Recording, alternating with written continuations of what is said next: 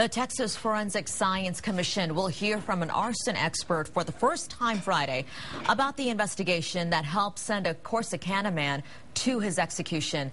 Cameron Todd Willingham was executed in 2004. Prosecutors say he intentionally started a fire at his home that killed his three young daughters.